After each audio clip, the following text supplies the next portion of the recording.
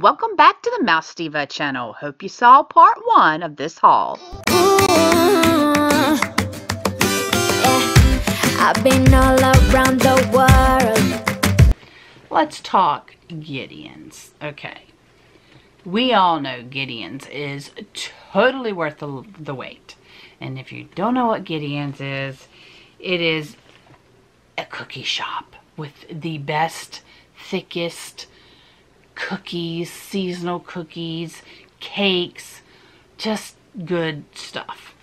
And each month they have the little cards with their special monthly cookies and cakes and that type of stuff. But the other side is always some type of artwork, which I adore these. Like I will stand in line just to get the cards. And so we ended up, they when you get in line, they're like, have you been naughty or have you been nice? So if you've been nice, you get this one. If you've been naughty, you get this one. I love them both. I wish I had one for every month, but obviously I'm not there every month. And for the first time we ordered like Tom got some type of like well we I drank some of it too. It was like a mint mocha. Oh, it was a special. It was um nitro cold brew on tap. It was a limited time Krampus cold brew with chocolate mint. That's what it was. And um, so this was the sleeve that went on there. And so I kept that too because it had some cool artwork. I knew that they sold candles. Um, but somebody in line in front of us asked something about a t-shirt. And then they brought out a t-shirt. And so when we got up there, I asked the guy, I said, do you sell t-shirts? And he says, yeah. He says, turn around, and in that case, those are the designs we have. And it's like, oh, I didn't know that. And it's like, I love their artwork. But Mr. Mouse Diva saw this one, and um, he was like, I want this one. So, yeah, not a t-shirt, but this is what he wanted. And I think this was $30. I think they were like $29.99 and just very comfortable feeling. But so he, and you know, it says Gideon's Bakehouse. So he got this one. And then I got, what does this even say? I don't know. Man Vida. I don't even know. Moss Deuce K Vida. I'm going to have to ask Skylin what this says. I don't even know what this says. Much because I don't know. Sky, Skyland's the, the four years of Spanish. But anyway, I got this one, which actually I think this guy was October's artwork, to tell you the truth. So, oh, maybe they have one every month?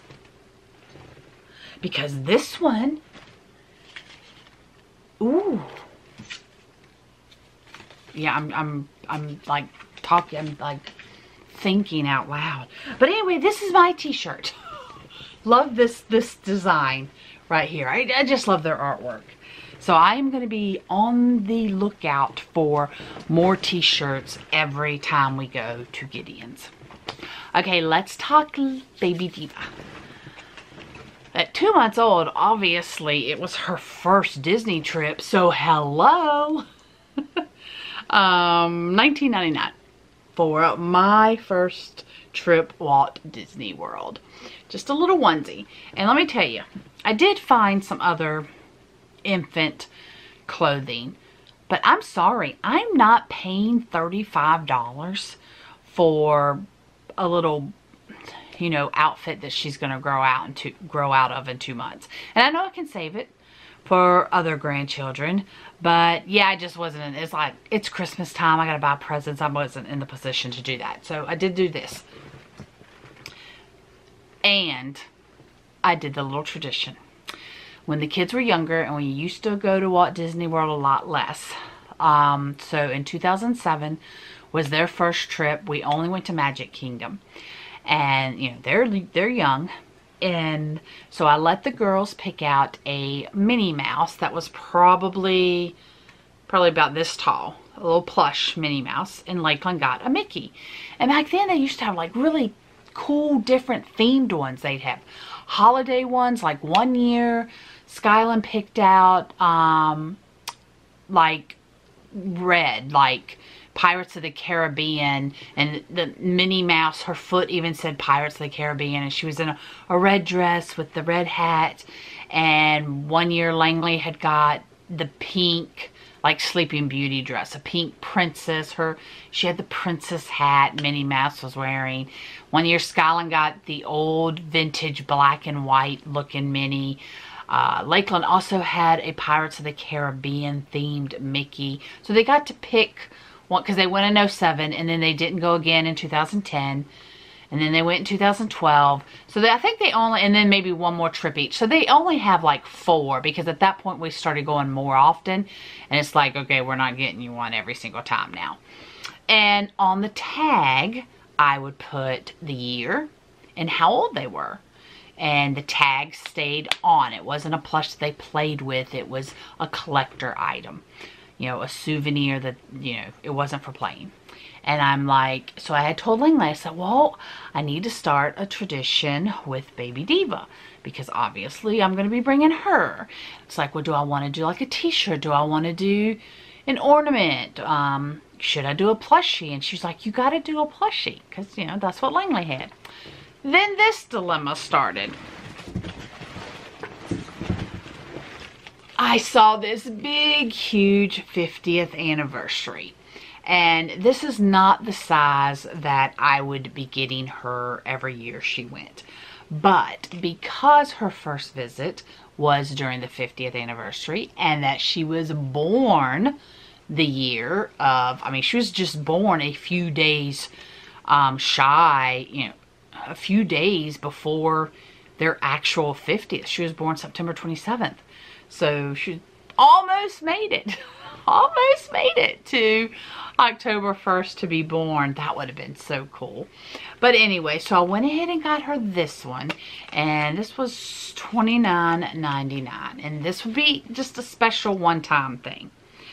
Then the other Minnie, this is about the size Minnie that she will be getting. And this was $22.99. And this is about the size of the girl I think the girls Minnie was just a tad bit shorter. I don't, I think, because her legs just look really long. But here's the thing. Now, luckily, I loved this one. I loved the, the old vintage look, the feel of it. It's not like the other plushies like this. It has a different, almost velvety feel to it. And I'm lucky that I loved it because it was the only Minnie Mouse anywhere that they had.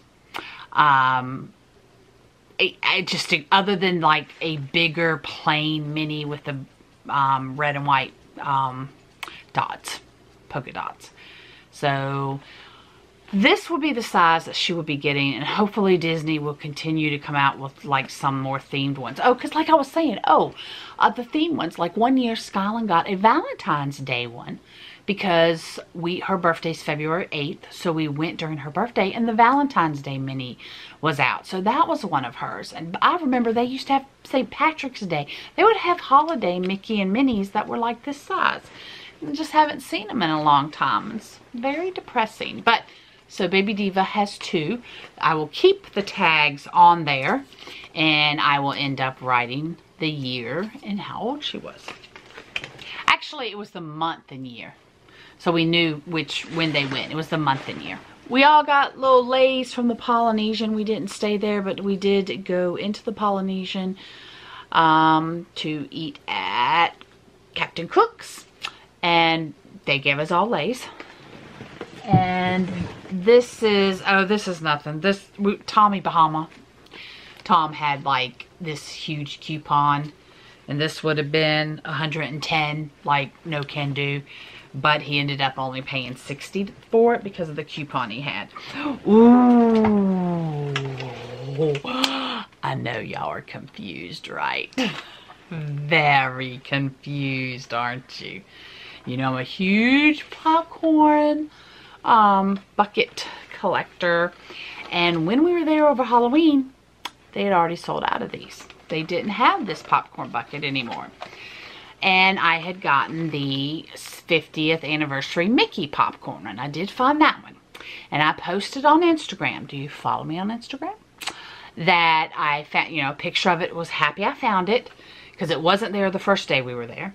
But what I really wanted was this one, and they'd sold out. Well, luckily, the Disney Sisters mom, Disney Sisters, they have their own YouTube channel, um, saw my post and they had an extra that they were willing to sell me. And I was like, yes! So while I was there, we met up and um, I was able to get that Mickey. Oh, I love that popcorn bucket. Speaking of meeting up with people, Jessie over at Jessie's Neverland, um, she has a YouTube channel, Instagram. Anyway, she is a great like artist. I mean, she draws and paints so well. She will sometimes paint river rocks and hide them at the Disney resorts or at Disney Springs because you're really not supposed to hide anything at the parks.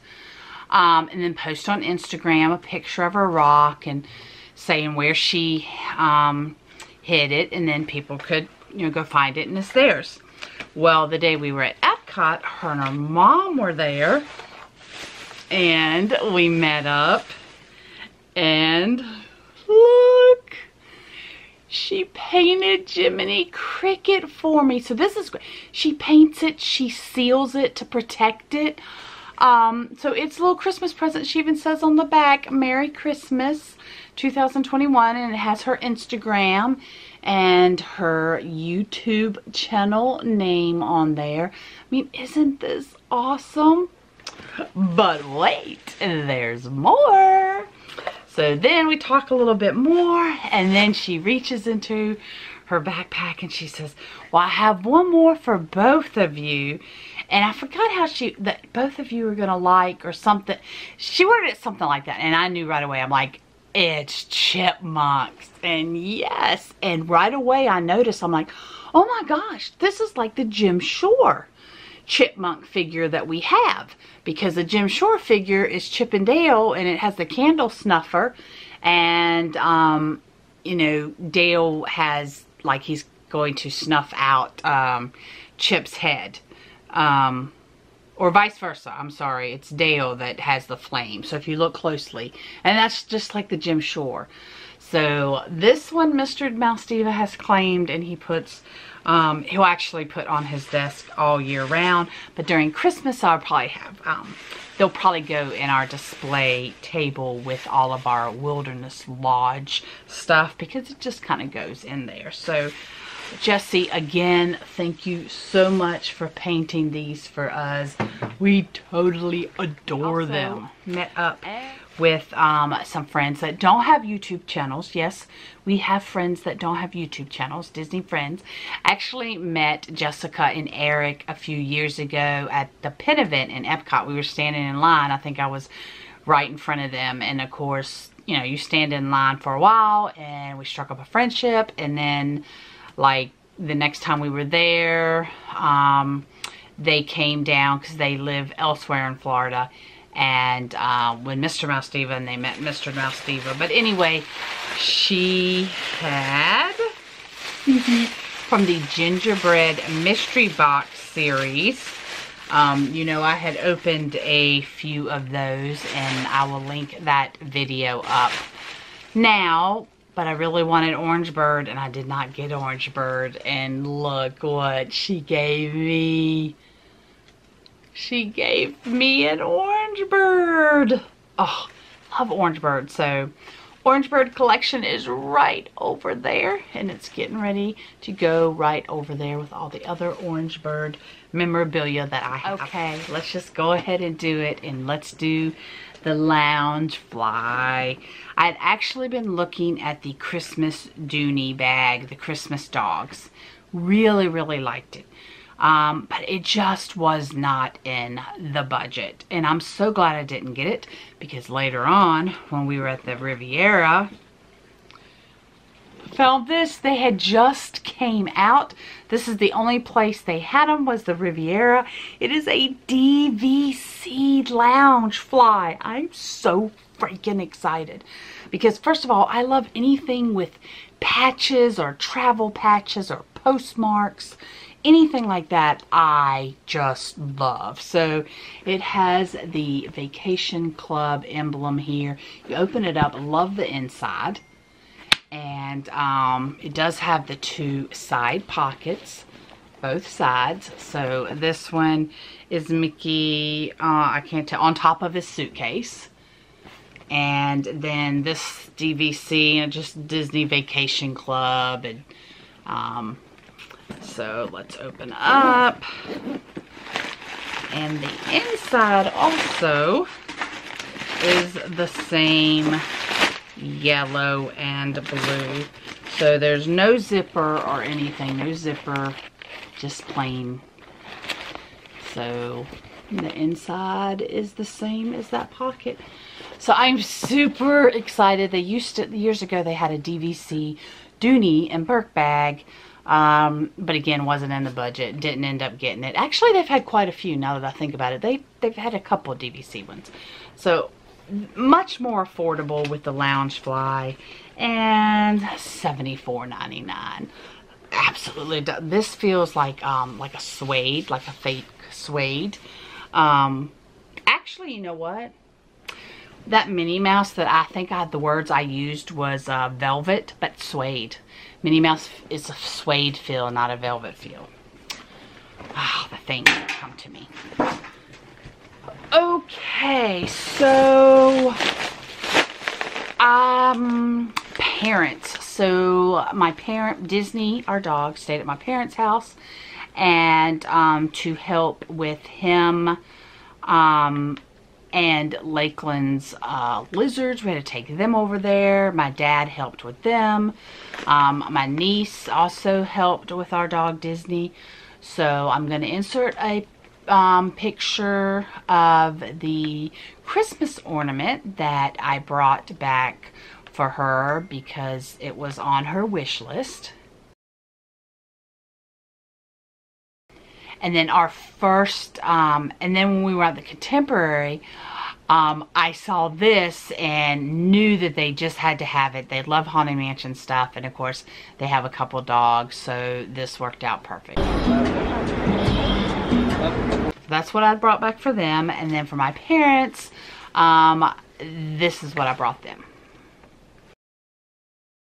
During our Buc-ee's stop, other than like stuff that we got like right then and there. I think Tom had, no, he didn't get fudge. I got banana pudding um, on the way down as part of my lunch. Was not a fan of the banana pudding. Um, we got little sandwiches and stuff, but like as a package stuff, um, have to get the Buc-ee's Beaver Nuggets. Um, you saw I got my dad some, and um, Tom got some. I tried the chocolate banana nut granola bites for the first time, and I really, really liked them. They were good. As you can see, it's almost empty. And then Tom was super excited. He loves corn nuts. And they're kind of hard to find. And these were only 99 cents. So he actually ended up getting two packs. Last up, Ghirardelli. I'm the one that actually wanted to go in there. I was like, ah, let me see if they have anything interesting that I can give as gifts. But nothing like special or that interests me. But Tom, norm actually Tom normally gets the big huge bags that are like 30 bucks I think. Those really prepackaged. But he just did the thing where like you fill it up as, as long as it can close. Um, then you're good to go. And I forgot how much this was. Uh, I totally don't remember. So like he just stacked them good. And then he went back because then I had noticed, wait, they had dark chocolate peppermint bark. So, and I'm really hoping it's actually like dark because one of the other ones, it said, I think milk chocolate peppermint bark. but it was white. It was white chocolate. And it's like, that's not milk chocolate. So I'm really hoping this is dark chocolate because I prefer dark chocolate. I don't I don't like white chocolate really at all. It's too sweet. So comment below. Are you a dark chocolate, a milk chocolate, or a white chocolate person?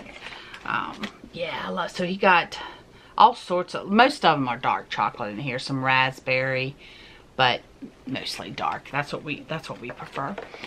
Okay, guys, so we'll be um, sharing the vacation vlogs actually on my Life's a Whirlwind channel. Um, even, except for the Epcot day. Nope, actually that's going to be on Life's a Whirlwind too. So that's this entire trip will be over on that channel.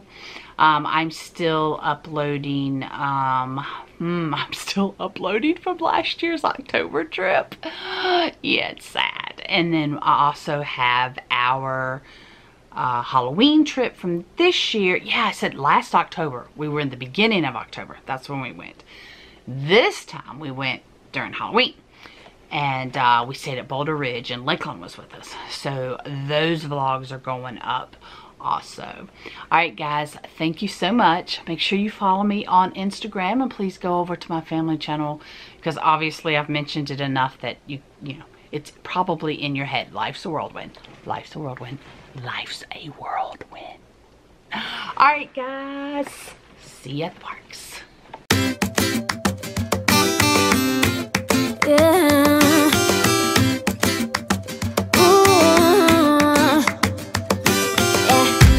I've been all around the world. Oh, every city, every place.